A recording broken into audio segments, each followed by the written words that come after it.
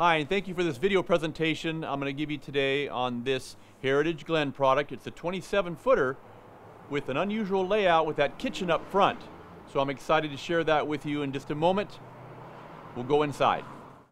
What I love about this front kitchen model is all the counter space and all this big slide out gives you so much room in here in this front area.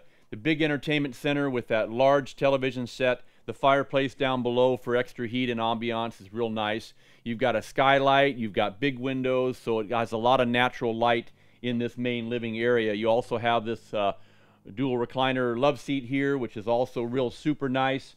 And then you have the bedroom slide in the back area there, giving you a lot of room in that uh, uh, main bedroom. Your closet across that whole back area, even place for a washer dryer if needed. You have a nice big bathroom uh, shower, access from the bedroom as well as from the living area, which makes it really special and really nice.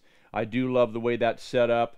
Again, it's a really nice layout, very roomy, and lots of storage and drawers, and also a, a doorway too, right? Even when you come in from the main door, there's a real nice space as well too. Thanks again for spending some time with me today on this video presentation. And remember, at Guaranty here in Junction City, it's an RV show every day.